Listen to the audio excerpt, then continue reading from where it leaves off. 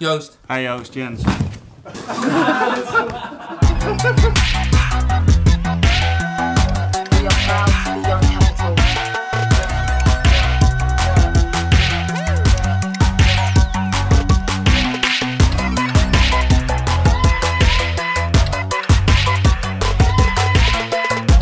denk het eerst wel de layout. Eigenlijk naar de hele layout. Als ik een cv open wil ik gewoon in één keer duidelijk hebben dat alles overzichtelijk is.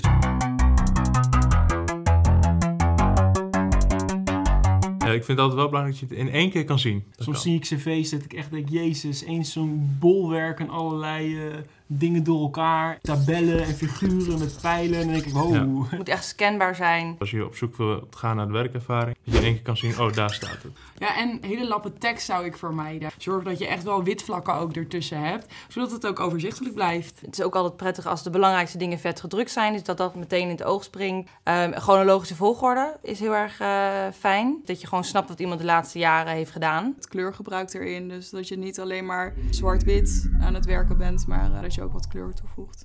Lettertype Comic Sans. Ja, wel belangrijk Ja. dat het lettertype gewoon een beetje ja, volwassen eruit ziet Ja, of zo. precies. En een goede duidelijke foto is voor bepaalde rollen ook wel heel belangrijk. Eentje waarop je zelf goed staat, vaak van de voorkant. Dus dat mensen je eigenlijk recht in het gezicht aankijken. Door een foto ben je wel gelijk geneigd van, oh ja, ik heb er een beeld bij van hoe iemand is.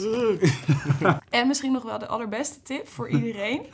Sla je cv op in een pdf-bestand. Want als wij dan het cv openen in een Word-bestand... ja, dan verspringt eigenlijk alles. Autocorrectie staat nog aan. En het is eigenlijk één klik om het als pdf op te slaan. Er verspringt ook niks meer. Verspringt er niks. Nee. Nee, dan lever je gewoon één document aan vandaag. Dat is een hele goeie. Ja.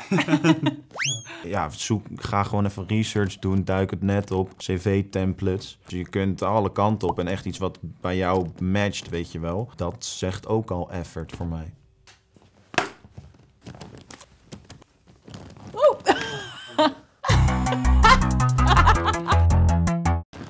Een cv. Wat heb je? Twee. Ja, oké. Ik heb Max opgeschreven. wie is Max?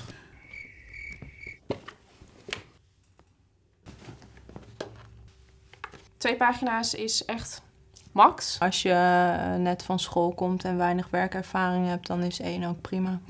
Twee kantjes laat net zien dat je inderdaad al wat hebt gedaan. Kan je een stukje over je hobby's vertellen. Kan je over je werkervaring vertellen, over je opleiding. Eventueel nog een motivatie of een profielschets. Daarnaast wordt het ook gewoon veel minder overzichtelijk. Ja.